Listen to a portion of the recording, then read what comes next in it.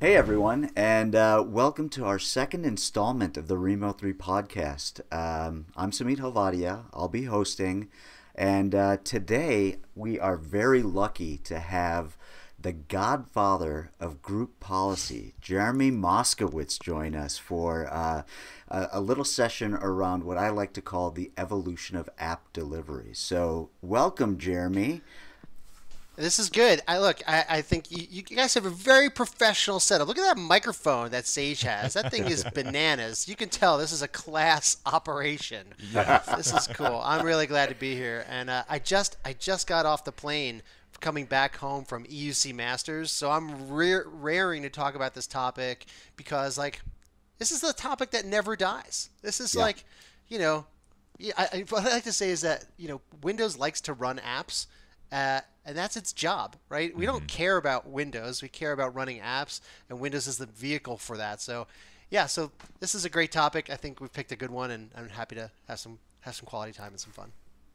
So that's great, and I'm really looking forward to this, Jeremy, because we've we've chatted a bunch, right? But what's really interesting to me is the fact that you know one of the things I like to do, like with Patrick in the last one, he's my nerdy James Bond how how did you get this nickname as the Godfather of group policy? Where I mean, did you give that to yourself? Because that'd be no, no, epic. no. That that would be bonkers. no, I mean, it just it. Look, I, I'm I remember I I think I was on stage at a at a Microsoft TechEd event or something, and someone was like, uh, "Hey, I've got a question for the Godfather of group policy." You know, some some so, it was something like that, and I was like, Wow, that like it like encapsulates it perfectly. I mean, it's like you know the Chick Fil A slogan is "We didn't invent the chicken, we invented the chicken sandwich." You know that kind of thing. And yeah. that's how i feel about group policy. I didn't invent group policy. I invented the group policy sandwich right? Yeah. and what does that mean?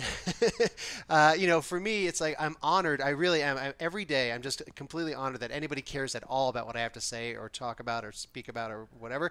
And it started off with you know writing i have a I have a blog gpanswers.com which is now called mdm and gpanswers.com to encapsulate a lot of the new stuff. Um, i wrote the big fat group policy book. It's up there somewhere on there we go right there. I yeah, see that. i see yeah. And uh, you know it's got, it's gone through six major editions. It's about 900 pages. And you know it just I, I fell in love with group policy because it was it was the thing when everyone was thinking about nt domains and how to get to active directory they were all everyone was like in a all in a twist about how do we get there? I knew we were going to get there, and once we were going to get there, what was interesting about it group policy was the thing for me. I was just like, oh, once we get there, we have all this management, this baked-in management to the uh, to what we have for these on-prem domain join machines, and I just thought that that was the bee's knees, just like being able to, to you know before in order to do that, in order to have any kind of management for Microsoft, that was S SMS, okay, yeah. 1.1, 1.2, 1.3, 2.0, whatever and you know you needed servers and SQL and databases and expertise and understand every freaking log file and even then it didn't work and I just love that group policy right out of the gate I mean it's just like it worked wait, wait, where's the magic fairy dust? It just works. So anyway, long story short, I mean, I fell in love with it. It fell in love with me, and then you know, be, you know, being able to create things like the blog, like the book, and then eventually things like PolicyPak that got its start initially filling the holes uh, uh, in the road toward getting people successful in group policy. It's taken on a different, you know, slightly different life now with MDM things, but it's still really well known for being able to fill in these gaps in group policy. So all said and done, to put a button on it, you know, being called occasionally the Godfather of group policy is a humongous honor for me. Uh, but it is because you know I, I didn't invent group policy; I invented the group policy sandwich. So there you go. I love that. I'm gonna start using that. You know, I didn't invent, I didn't invent application management. I invented the application management sandwich. It's so there you good. go. Isn't that great? I mean, but like, think about this, right? You you just brought up SMS 1.1 and 1.2 and 1.3. Like, I remember the days of SMS and like yeah. the original gangster of like uh, uh, yeah. ESD. I, I, think did you ever call it ESD? Because I think at the very beginning it was electronic software delivery for I just, these IT admins. I just remember. Okay, I I got my. Uh, uh, I'm so old now. Um, I was one of the first MCSEs ever, and the way that it worked is that you had like four initial uh, exams you had to pass, and then two okay. electives. Okay, so my electives my electives were Microsoft Mail, not Exchange, Microsoft Mail, and SMS 1.0. that is amazing. And, I mean, Yeah. but the, the, it- it's so funny because I, I I look at that and I think about, gosh, you know, it it was really easy, relatively speaking, to deliver applications when you were just delivering them one way, right? You're Oh, yeah. taking it from SMS is managing the delivery of this application to your Windows device. End of story. That's it, right? Like, Well, it if, if it physical. worked, Let, let's start Yeah, with that. if it worked, okay, yeah. Okay, uh, and- but then there's then there's always you know the the price performance ratio of like pre baking it into your image. Uh, like on the one hand, like oh Office, it's amazing. You just bake it in. It's 400 gigabytes. That sounds great, but then there's a whole lot of downside to like pre-installing apps because if you pre-install an app and Office may be an exception, let's just take that one out of it. It's called Dog Food Maker Pro. Okay, Sure. It's a fake fake app that I've been using for forever. Dog Food Maker Pro. You pre-install Dog Food Maker Pro into your into your machine, and now you've what I call you're in a disconnected state, right? You've pre-installed this thing, and then you want to ins- then you want to do an upgrade. Gosh, how are you going to do it? The you you didn't do it in a managed state, so you have really no way to get out of it. Are you gonna what are you gonna do? You're gonna write a script. You're gonna walk over to each machine. You're gonna go to a USB stick. It's terrible. So there, there, there is a big downside. You pay a pe- you pay an upside. There's a you know a, a, you know, free free money cost of being able to pre-install it on the machine. But then the toll later is the worst toll of trying to like keep it upgraded and, and up to up to date all the time. Well, I mean that that that's how you get win rot, right? Like I mean when you have these images with pre-baked applications that are just mm-hmm. degrading over time because people update like the group policies, they'll update the cumulative updates, they'll update the patches on these images. What they're not necessarily doing is understanding the impact that you already have of stuff that's already pre-baked into that image. And that's where the degradation happens. I don't know, I mean if if, if that's what you've seen, but in my opinion that's where we're sitting. It, there's a lot. There's applications are there's so many types of applications now between like those uh, I can't remember what the heck they're called. The one that like the Teams is made out of. Uh, I can't you know one type of app. I can't remember what it's called. Uh, whatever. Oh, is it It's- um, Electron? yeah, thank you. I was thinking Spark. I couldn't come up with it. Good job, Sage. You get the gold star, man. You nailed it. I love yeah, it, so Sage. Sa- Sage is a, so you know there's Electron apps, there's you know Win32 apps, there's UWP apps, there's you know apps that are being slung from over there that aren't really apps. There's like all sorts of things, and then there's also this idea of being you know self-updating apps. So it, man alive, if only there was one amazing quick way to just like install that would be incredible but there's not. And, and there's also new style stuff that's coming out the door too right? So i'm sure you've heard of this of the idea of like winget and chocolatey and Yeah. all these things. Well what, what why don't we take a step back and kind of define what that what that is for for everybody? So you know microsoft wants to have a kind of unif- you know th- this this challenge of applications coming from all angles, meteors just falling from the sky at different angles.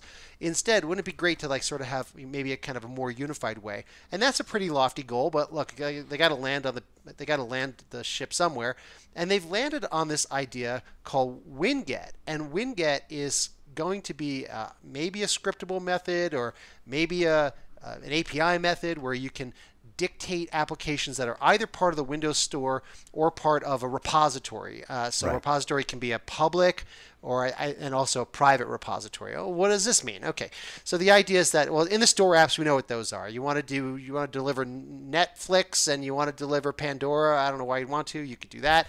Um, you want to deliver uh, you know seven zip. That's maybe prepackaged by somebody who does that uh, through this uh, through this Microsoft repository, or hey, you've got your own Dog Food Maker Pro, and that's never going to be out on the public internet somewhere. It's some your your own customized app, and you can point it toward your your repository. Okay, so now we're sort of getting into some kind of reasonable way of getting of getting it delivered, and I, I think they're on the right track. Um, there's also this uh, pre-competitor, which is this thing called Chocolatey. It's very, very popular. Lots of people use it. Um, you know, it's a community-based open source thing that has thousands of packages already. I, honestly, I'm not sophisticated enough to know exactly what the differences and the details are between the two. I'm sure Chocolatey is like light years ahead for now, and who knows? Maybe WinGet will eventually, or maybe not eventually, catch up. You know, that's that's typically how those things work. Well, the interesting thing about both of those stores, right? The concept is like, hey, we're going to try to make it easy to get applications and workloads that you need to do your job onto your desktop.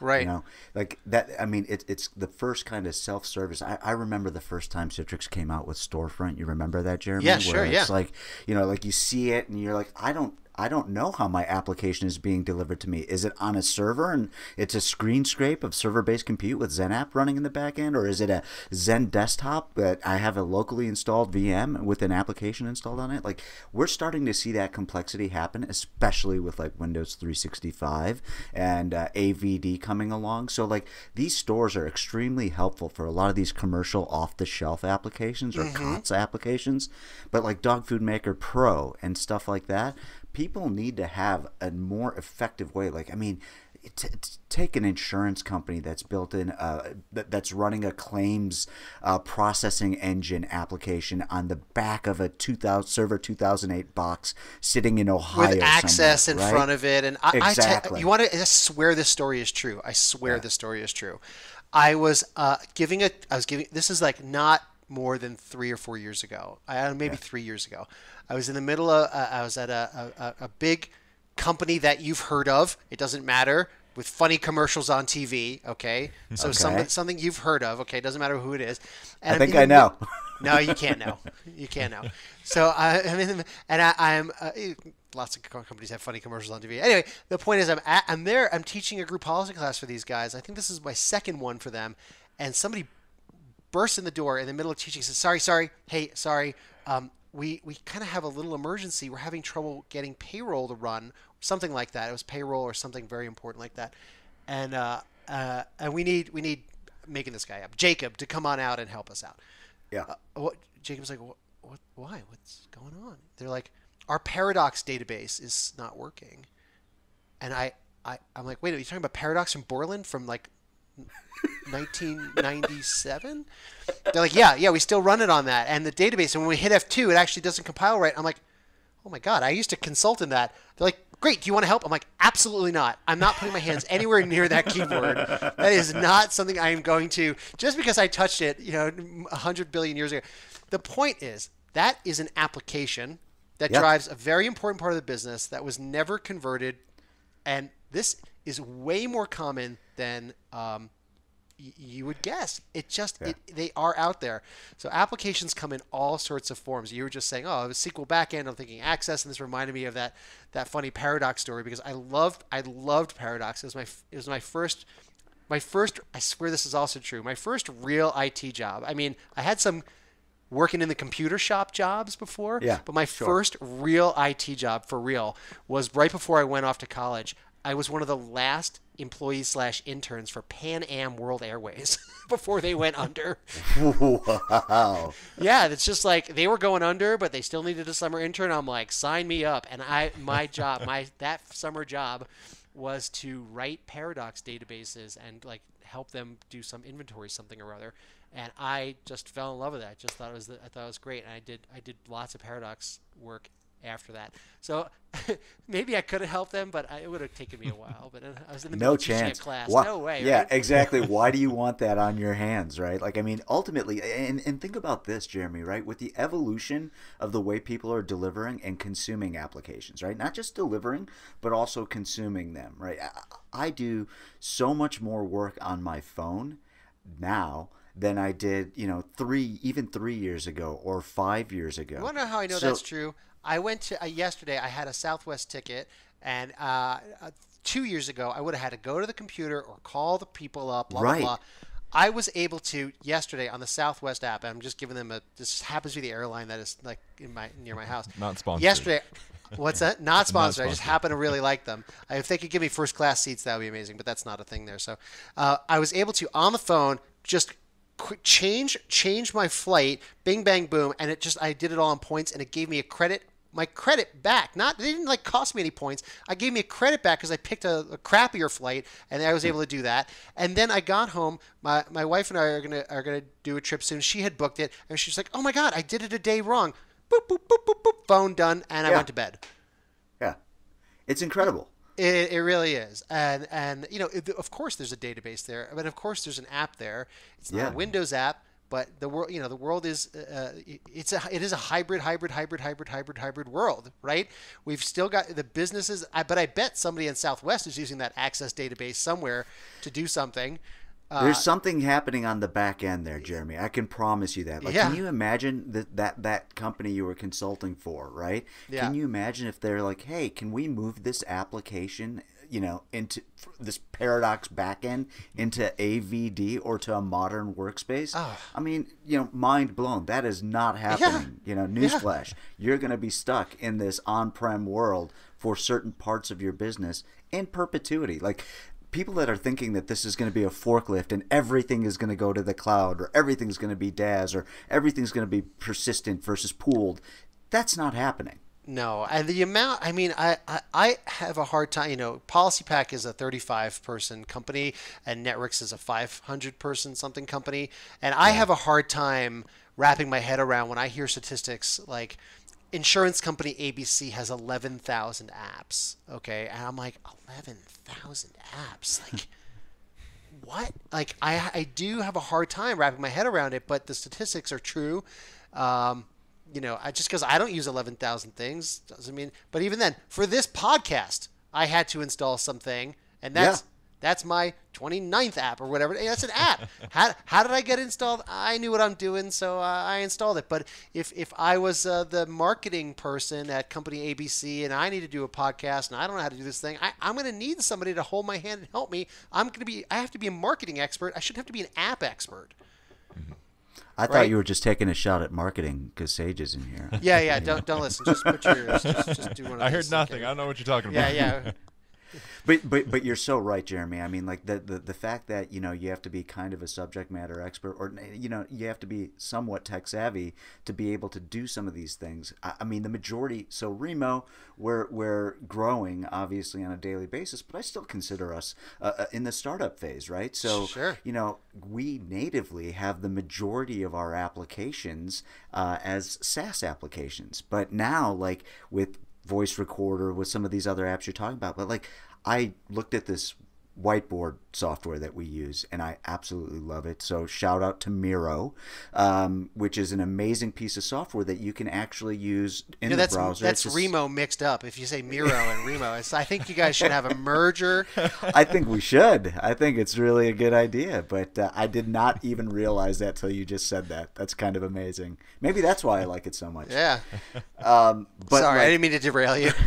but we start. Uh, so the SaaS offering is great. It looks good in the browser, but then there's something to be said for when you install it and have the client. The actual Windows app. Yeah, yeah, absolutely. Awesome. I mean, look, it's high. The high. Right. I mean, when it even like um. I hate Facebook. I'm like sort of anti-Facebook in terms of like yeah. my use on it. I don't care about the political whatever. I just like I'm not a big Facebook dude, but like some parts of my life, for better for worse, have to run on it. I would rather use a Facebook app than I would use the Facebook browser browser. There's something about a high fidelity app. If it's on the phone if it's the windows app yes. if, whatever there's something magical about a high fidelity app. And, and even the southwest example that we just did 10 seconds ago mm-hmm. i used the southwest app. I don't think i would have gotten bing bang bing if i wasn't um, you know on the app. I think it would have like been either more cumbersome non-accessible or some other challenge. But th- th- I agree. There's something magical about high fidelity apps that, that that that do the actual do the work. And I think this this is why I you know this I, I, you put this all in a blender and it, you can actually have one output, which is like this is why the world still runs on Windows. Yeah. Okay. The uh, Chromebooks, they're great. Don't get me wrong. I love a Chromebook because you can take it, smash into a thousand bits, and it's only hundred dollars. Yeah. Mm-hmm and uh, it's great for students who have low fidelity needs and some high fidelity ish things that run in browsers. But sure. for, for apps like Windows apps and video editing, I'm sure somebody's going to say like Jeremy, you don't know what you're talking about. There's a killer video editing app in in Chromebook. I have yet land. to find it. I'm sure there is. Let's pretend that there is. I, am sure there is. I just don't know it. But for me, I'm constantly editing videos. I'm I'm doing simulations, so I need like a VMware. I need uh, Camtasia. I need like these high fidelity apps that do that that really need real Windows to do it. And I think that that's that's why the world runs on Windows still, as opposed to these medium or low fidelity Chromebooks. And again, I'm not knocking Chromebooks. I think they're freaking great for what they provide. The price performance ratio and the amount of stuff you can get out of it, holy mackerel. And I think I think iPads are like this middle fidelity thing. Yeah. You can get um, you, you, know, you you my you know, kids I, I saw this baby at the airport with just a phone, a baby just Poke just doing mm-hmm. her thing, man. Yeah. It, there's something to be said about ease of use on that, but when it comes to real business, real business still runs on Windows, and I think it's because of these high fidelity apps that are like the whiteboard, like a Camtasia, like this video voice recorded thing we're doing here. You know, all these things that actually, you know, get teams, you know, all these things that, that get the job done. Teams is a reasonable example of something that is medium or low fidelity on uh, on a web browser, and it's very high fidelity when it's in in a real app, no matter yeah. what that app is. So. Anyway. Well, I'd say the whole this is the same thing for like so my my daughter has a Chromebook, right? And she's 9 years old. She's really pretty tech savvy. She knows her way around it. But like if I'm downstairs and I just I don't need to create content, I'm just consuming content. oh yeah, I'm, man. Like that's how I, I do I, it. I pop open the Chromebook. You open. The, I mean, there's a Teams app on the Chromebook, right, where it's really yeah. just kind of Office 365. Sure. So I'm great at reading emails on there or responding to Teams messages. But if I need to do something a little bit hardier, like I need to create a new Word doc or I need to attach an email or find an attachment on OneDrive, like okay, at that point I I need to go back to the high fidelity Windows experience. That's uh, it. more so than um, it, yeah. So I wouldn't want to be editing. A, I wouldn't want to be editing a legal document with right. markup on an iPad, and yeah, uh, that's a, that's an exercise in frustration. You know, yeah. I, I, I, this is not my analogy yet, so I'm completely stealing this from somebody okay, else. Good, but like you know, uh, you remember you know the Swiffer. You know the Swiffer yeah. is okay. Yeah. So the iPad is the Swiffer of the computing world. Oh, you have one. All right. So, well, what does that mean? It means like, well, you use a mop for hot, for hardcore things, and you use like a little dustbin for low low things. The iPad fit right into the Swiffer category yeah. of this middle thing we didn't even know we needed, and that's exactly what a, I have a Swiffer. I didn't know I needed one. Came out, I was like, holy cow! Yeah.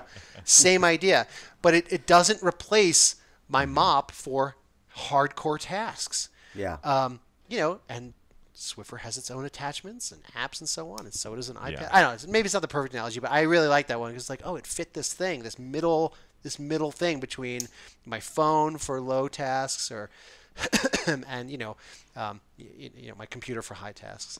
Mm-hmm. Yeah. So and, and for, for both of you oh, guys, oh, sorry.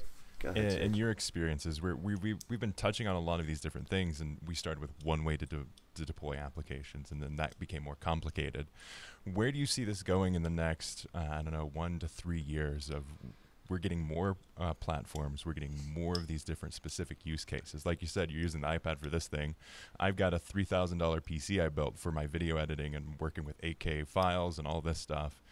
I'm not going to do that in the cloud. Where do you see these shifts going with AVD and these different ways to deploy applications? Why don't you so go Sage, first, Amit? Yeah, so Sage, why wouldn't you do that in the cloud out of curiosity, right? If you get enough compute in a virtual machine that you sit, stand up in Windows 365 or cloud PC, I, I think that that actually, as a use case where you don't have to spend the 3K on the mm-hmm. hardware up front, but you spend, spend it for the. You can spend 3K in 20 minutes that's if, the if you're not ca- yeah that's the problem careful, right if you're not careful yeah. I, like so lakes. okay I, I, so keep this a secret. Don't we won't get we won't we won't tell the podcast listeners this this secret about about Azure okay? This is a secret between just us right? Uh, which is if you imagine you went on a ski trip okay and you left your shower running or your water running sink running and you came back now, you didn't have a flood or anything you just you just left the water running for a while. You'd come back to a a four dollar extra water bill, okay, yeah. from your ski trip. You do that on Azure, and you you just turn around and you're like, oh, here's my car. just you have to like, yeah, it's uh, and until you know, look, everything in the world.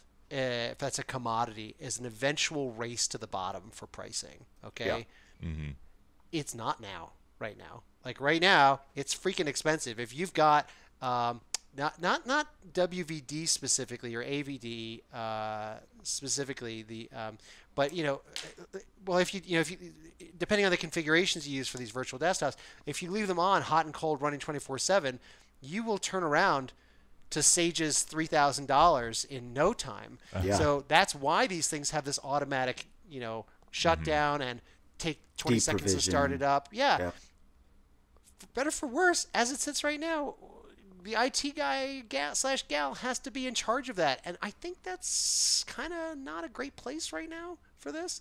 At some point, it's either has to be like 10x automated okay like like microsoft just has to handle that or your cloud provider of choice amazon or whatever just has to handle that um, Yeah. or or it has to be so cheap that when you go on the ski trip and you leave your water running for the week you don't come back to a $3000 or whatever do- dollar amount bill Yeah. and we're just not there yet. So I, think, agree. Samit, that's where you know, I'm not I'm not speaking for Sage, but I, my guess is that it maybe it makes sense to have a, a real machine that's beefy and does this thing and has, uh, you know, I just bought I just bought one of those NAS devices that stores all my pictures and all my files. You may Yeah. think, why, why would it, why would Jeremy do that in 2022 when there's all these cloud services? because it costs me money every month Yeah. to have passed this amount. Disk space it has been a great race to the bottom, but at some scale, it's not free anymore. I, Yep. I, I can't remember if uh, OneDrive is two gig or four gig, whatever, or Dropbox is this much or that much or whatever. At some, I have more movies and files than that. I don't want Yeah. to put them in the cloud, even if I could, because it's going to cost me too much tacos. So the price performance ratio for having some on-prem infrastructure, infrastructure in lowercase i, Sage with his computer, and me with my crappy NAS device that's here in my house, well, it's the price performance ratio we're willing to pay for. When it becomes a race to the bottom and it's like hot and cold running disk and compute and it just doesn't matter anymore, I think Sage can just say like, oh, and bandwidth too. Yeah. When he can get rid of, when he just eliminates all that, he can Yeah. build the machine of his dreams in the cloud and it not matter. So So that's that's a great point, Jeremy. So like uh, to that, like that that the price performance ratio is what's going to dictate basically everything. Like you just talked about storage specifically in the cloud versus locally on a NAS device sitting in your closet, right? Like when you start thinking about it from that perspective, that's going to be the same thing for Windows, right? At some point, there's going to be that price performance where you think some of these applications are going to run great in Windows 365. Some of them I'm just going to have to have locally installed on my machine so I can use them the way that I want to touch and feel these applications, right? And I think that that, and- and as that race to the bottom and the price starts going down, we're going to start seeing more and more workloads theoretically move to a uh, a medium fidelity experience as you call it. And then you know you can still keep your high fidelity experience for the stuff that's local. So i think you know sage to answer your initial question application delivery in the next one to three years is going to be exactly how jeremy just described storage right? It was very much around the fact that hey my price performance ratio dictates that for me i have a lot of files i have a lot of data and i don't want to pay a monthly subscription of $9.99 to icloud for two terabytes but i will pay a one-time fee of you know $150 to store 10 terabytes in perpetuity um, that's still accessible from your devices Yeah, I feel bad for these guys that put all this time, money, and effort into these on-prem, storage-heavy uh, VDI worlds. I think that those guys are looking at the racks of servers that they have that are on-prem or- and just are like, oh Yeah. man, maybe we shouldn't have, um, because it's close to being the right price performance ratio to have. Some people have virtual machines that are rented for some you know and that that the, the you know the storage that you have to keep yourself upgraded and you got to get another half rack and then oh okay, might as well Yeah. get the full rack.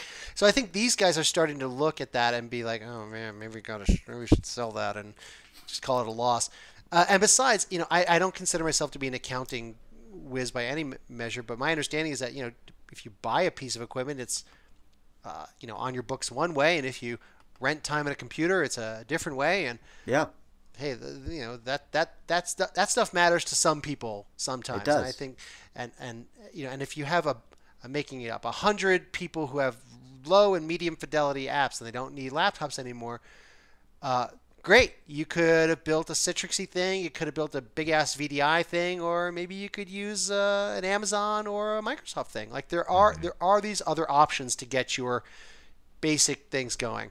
On the other hand, if somebody does have some high fidelity thing that they need to get to, like a Camtasia or editing something, maybe they're a candidate for two things. So uh, like yeah. you have a big big ass laptop that does the thing, and plus a connection into VDI uh, into you know, remote uh, Windows land. Um, so you know it is the right tool for the right job, and it is an interesting time. I mean, you know, Microsoft did um, was it was clear like they were just not interested in this for a while. Oh, it's the most important thing ever. Like they did like boom, they flipped really quick on it. Um, as as they as they will do on lots of topics where it's just like you know they, they see that it's time time to own a spiral arm of the galaxy. Let's get spun up there and start doing that.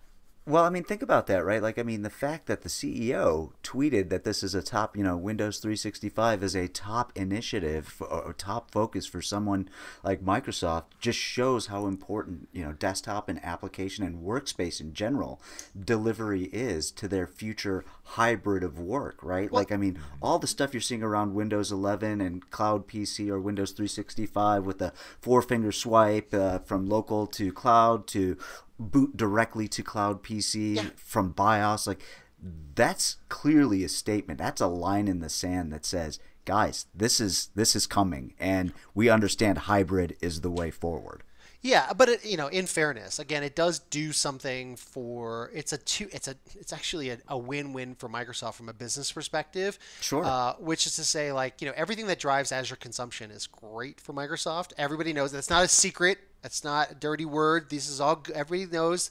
Everything that drives Azure consumption is going to be better for Microsoft, uh, and uh, if they can get these, if they can get medium fidelity uh, devices to kind of be pseudo upgraded to medium high with Azure Virtual Desktop, or yeah. what we saw in the recent announcement with uh, Windows 11, where you can click a thing and oh my gosh, your mm-hmm. your Windows PC is like from the cloud is like just a part of your desktop. That becomes yeah. like a, a, high fidelity experience. It's a win-win.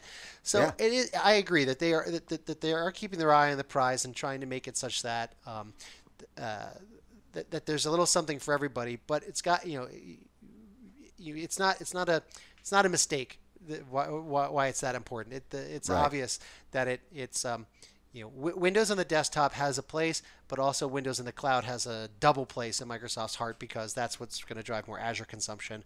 Again, don't leave that tap water running because that's where you're going to get barbecue. That's where so. you get paid. that's yeah. where you got to pay. But you know it's it's interesting because look look look at the next generation of uh, end users, right? Like back in the SMS days, someone would provision a lap some someone would b- buy a laptop in IT they would put your gold image on there they would put your applications on there and then they would ship it to your house. Like that's your day one experience. Now like at Rimo when you start hey by the way whatever device you have go ahead, bring whatever you feel comfortable using. Here's a stipend. And then on day one, you're completely onboarded into Intune. You have your cloud PC environment. If you so choose to want a Windows 365 environment, uh, you'll have access to your applications, your Microsoft 365 subscription. Like, it is a ridiculously painless process compared to what I remember from my first job 20 years ago. Like it's just it's I think the way you described it is uh, advanced and still quite uncommon. Uh, okay. Okay. Doesn't mean doesn't mean that uh, X percentage. Let's call it five to seven or ten percent of companies. I really think you have created a unique experience with that.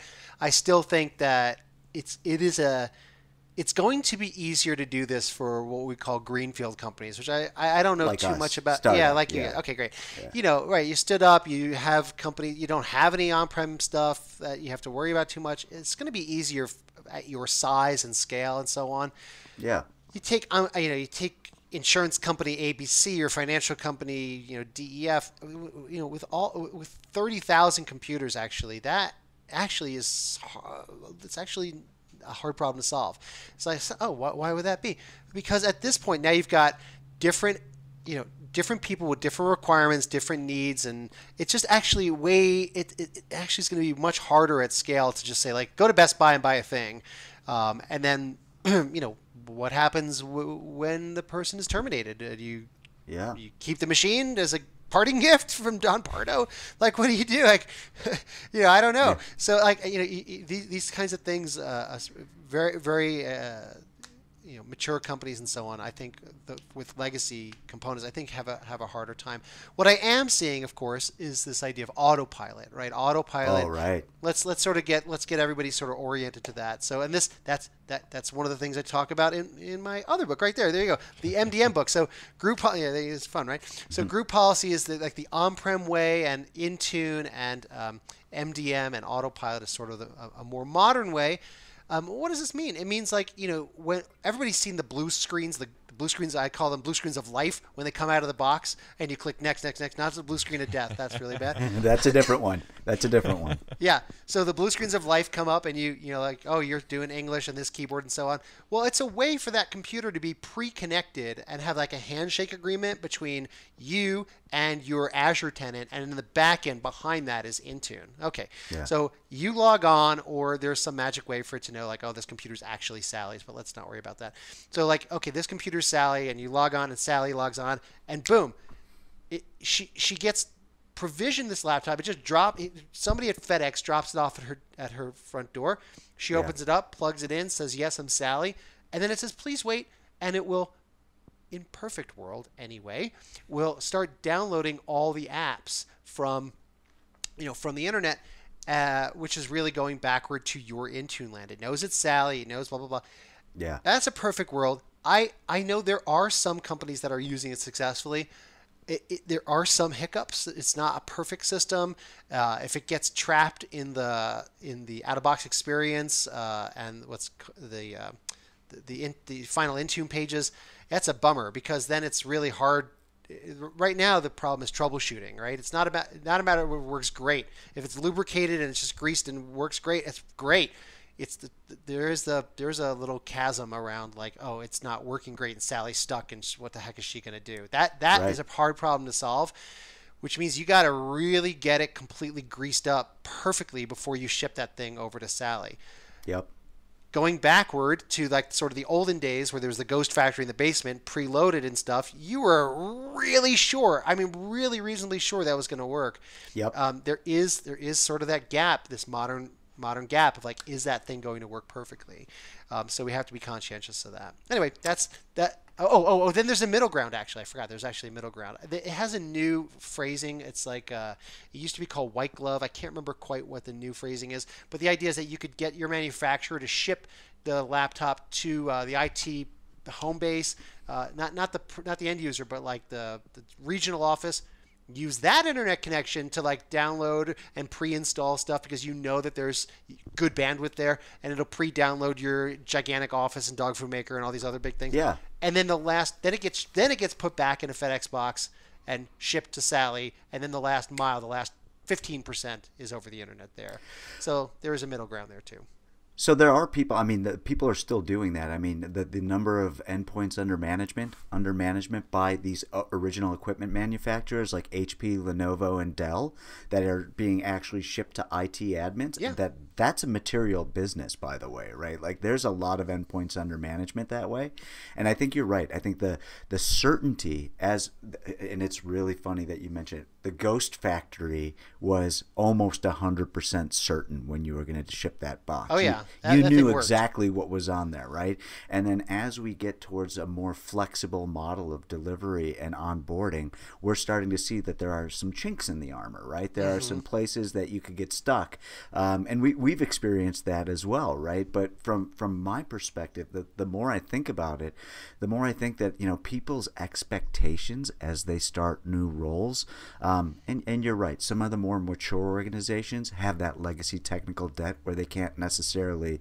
have a super elegant day one onboarding um, because of the complexity of the applications, the fact that they're 20 years old, they're homegrown, they've been written for you know Server 2000, and they're running in Server 2000 Yeah. somewhere.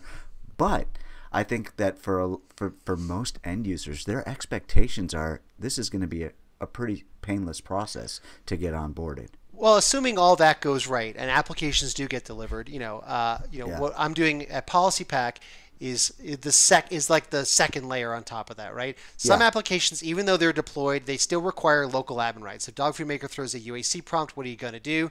Yep. Great, we can deliver the settings to overcome the UAC prompt.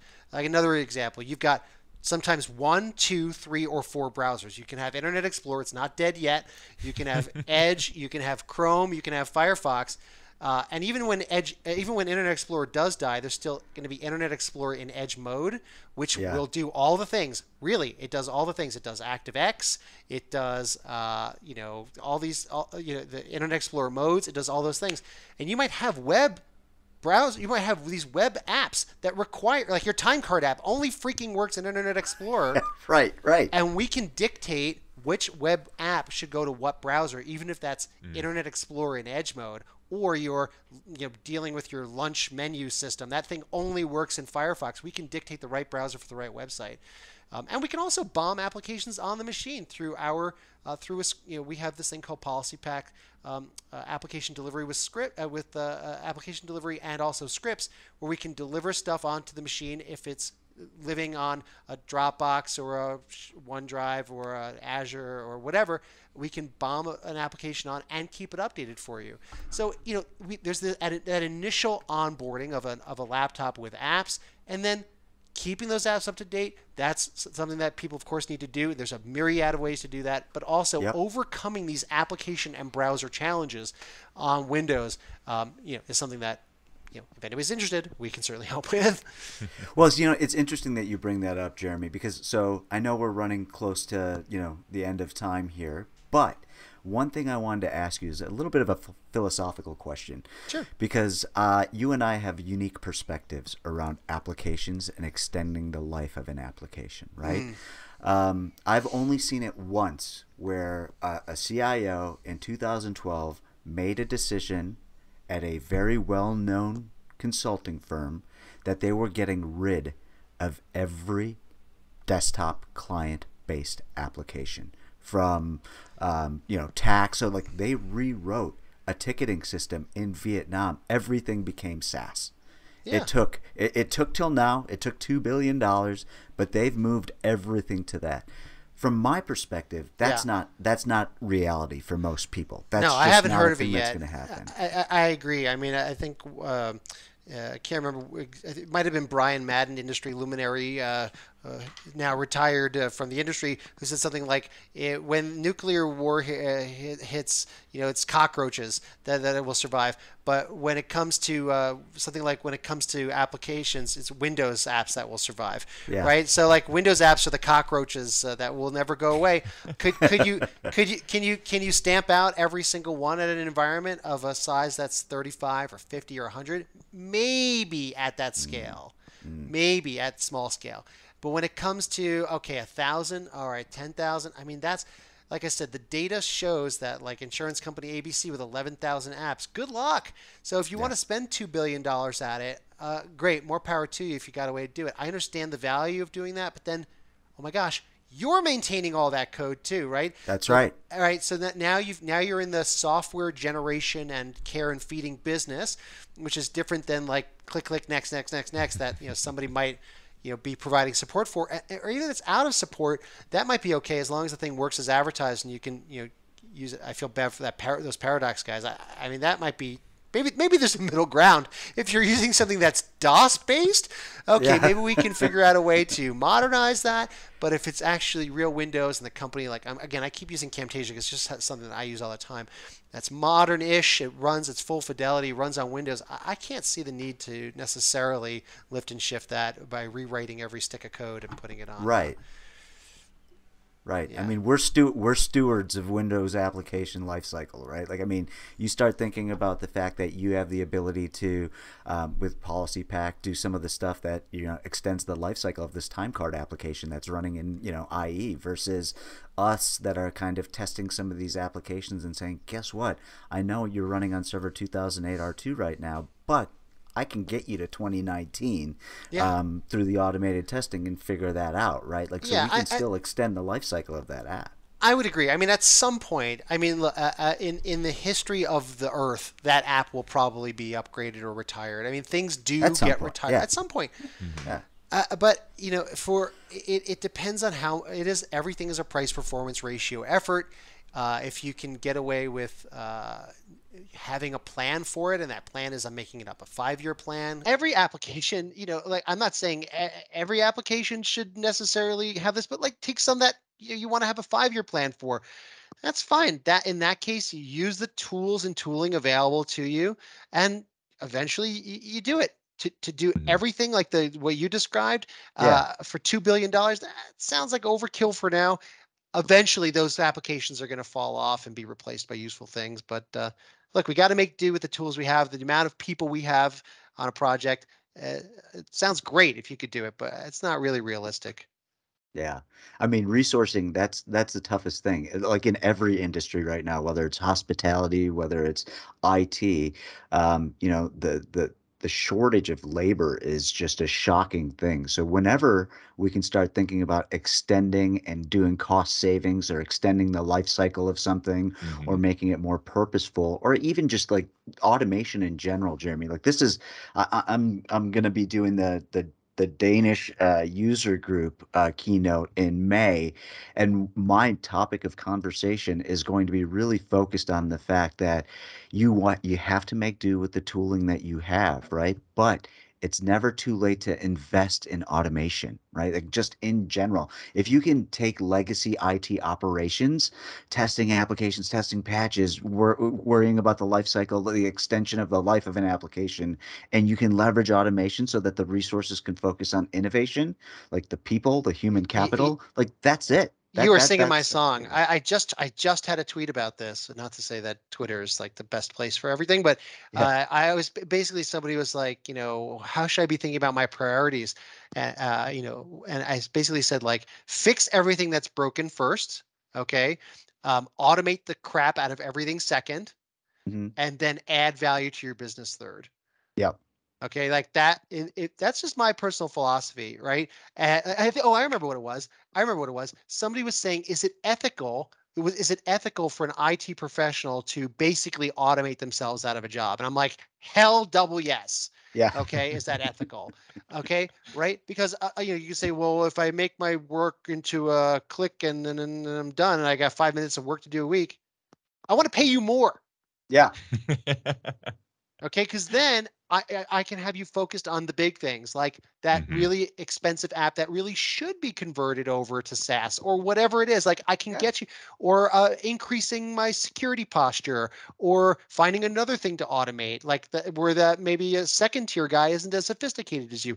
Hell, double yes. Okay, yeah. so fix everything that's broken first if it's can be broken.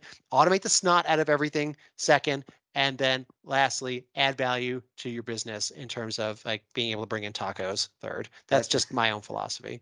Well that's the innovation right? That's that's that's freeing somebody up. I mean you're not working yourself into out of a job. You're working yourself into a bigger job a, a more valuable role inside of the mm-hmm. organization if you're able to do that right? If you're able to d- fix one and two uh, you will automatically buy just by de facto standard be doing number three. Yeah there you go. Cool. So, hey, Jeremy, we're up against the hour. So thank you so much for the time. The godfather of group policy himself taking the time to sit with the Rimo team uh, and, and, share pearls of wisdom. Uh, so every time we get a chance to talk, Jeremy, I always walk away with one or two new sayings. Um, now I've got my, hey, I didn't invent application management, but I did invent the application management sandwich. So thank you for taking the time. Good. Um, any closing thoughts from your side? Uh, no. Uh, I, I'm I'm not appearing or going anywhere interesting. I just got back, like I said, from the um, from the EUC Masters retreat, which was really good. But I have nothing else to promote. But if anybody is interested in, like I said, after applications are on the box and need to be well managed after that, boom, if you want to check out PolicyPak, come over to policypak.com or come over to Netwrix um, and you'll find the PolicyPak link there. And we'd love to have you. Just sign up for a webinar. Webinar gets you the ability to download the bits and then we'll go to the ends of the earth to make it work for you. That's it. Love it. Thanks so much, Jeremy. Thanks so much, Sage. Thanks, guys. Appreciate it. Thanks. Chat soon, guys. Rimo 3 offers automated pre deployment testing of Windows applications, OS updates, and security patches. Use unattended automation to test and assess application readiness for Windows 10, Windows 11, Windows 365, Azure Virtual Desktop, as well as identifying MSIX and multi session suitability. Your apps, your workspace, our priority.